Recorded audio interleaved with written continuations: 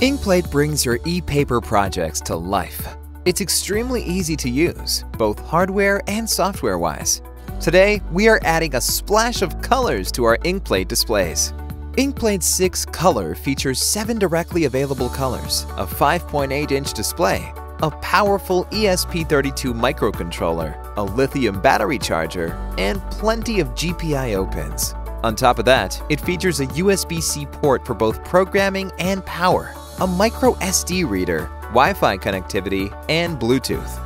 Thanks to its low power mode, in which the board uses only 18 microamps, you can use it for months or even years on a single battery.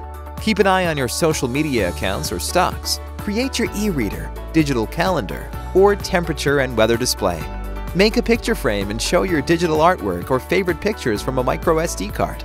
There are many more pre-written examples to try out or create your own. Programmable with Arduino, MicroPython, and ESP-IDF, the possibilities are virtually endless. Inkplate 6 Color is completely open source in terms of both hardware and software. It is designed, developed, and manufactured by eradionica.com in Europe.